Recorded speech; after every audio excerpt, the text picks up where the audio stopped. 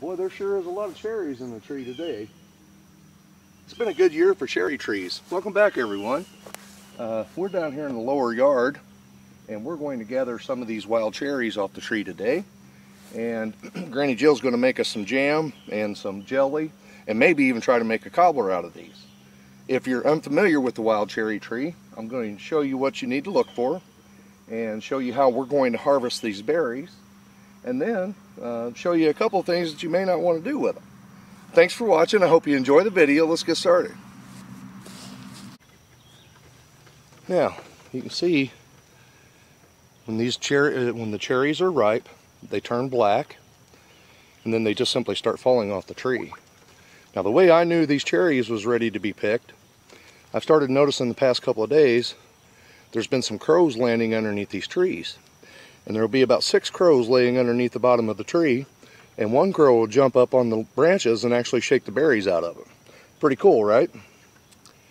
But what you're looking for, again, it is a wild fruit tree, but it has a nice small pear-shaped leaf, kind of serrated on the edges. Okay, and you can see the cherries here. These, these are down on a stem. If I can get this guy separated. There we go. And they just grow out.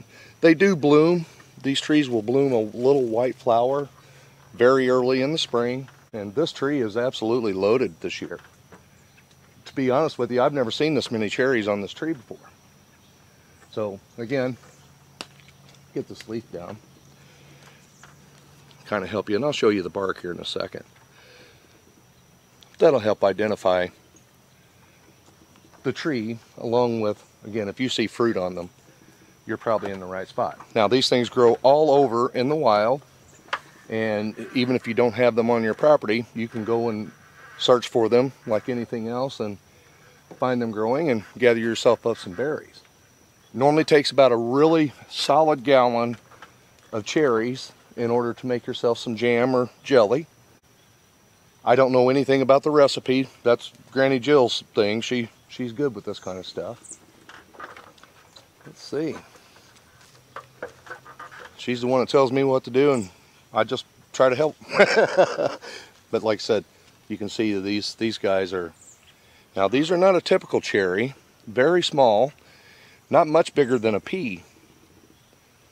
And that's why it takes so many of these to also make yourself a, a jar of jelly.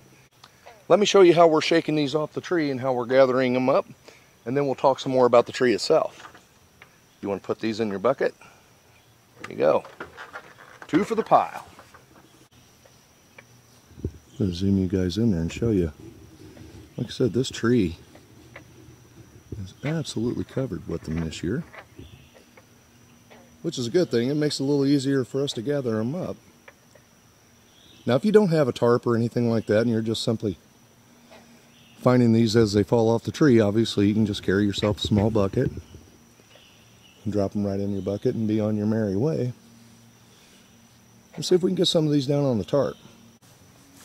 Now, if you're doing this like I am and climbing up on a ladder, obviously be careful there. And I'm going to try to grab the stronger part of this branch and start shaking these berries out of here.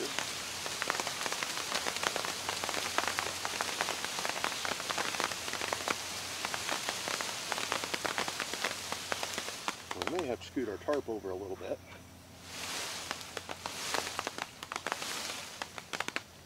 Okay, now we're going to fold the tarp up and roll the edges and just push those right into the middle. We don't want to step on them. Now even though these cherries are about, about the size of a pea, they do have seeds in them.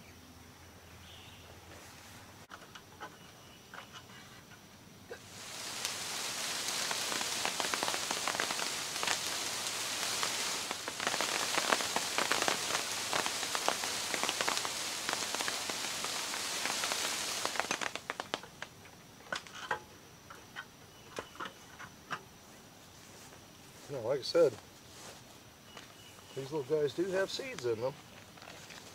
So if you're going to eat them straight off the tree, you have to be careful there.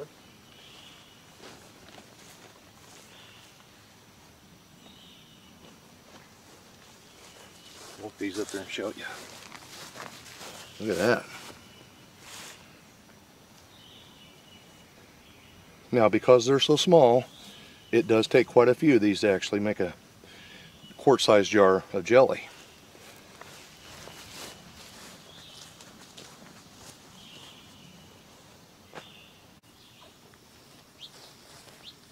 Now something else you can do with these, however, most of the time this kind of gets me in trouble. But again, they are pea size, so I can throw them at Granny Jill and have a pretty good time doing it. she thinks I'm cute. now another thing to watch for, if you're grabbing wild cherries, the blackberries are ripening up as well the cherry trees and the blackberry bushes kind of go hand in hand as far as being ready to pick the fruit. We've got a few more days on a couple of these blackberries here, but boy, some of them really look good. Okay, so while she's gathering those up, a couple more pointers about this particular tree. Now, if you own cattle and you have a bunch of these branches fall down, you need to pick the branches and the leaves up as quickly as you can because cows love the taste of this.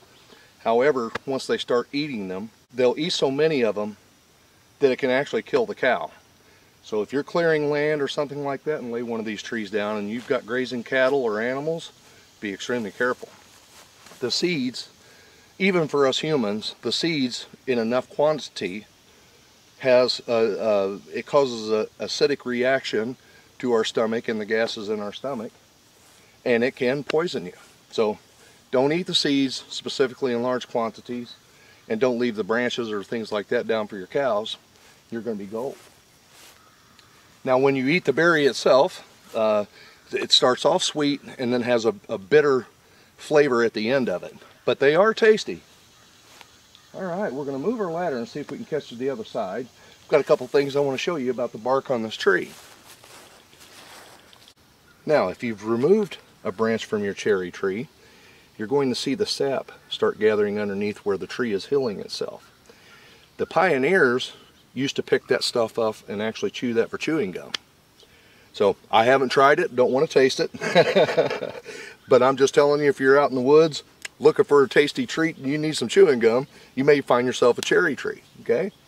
Now you can see uh, the cherry tree itself does have a really tight bark and these trees are really easy to identify growing in the wild. So if you come across one, you're, you're going to have a pretty good idea what you're dealing with.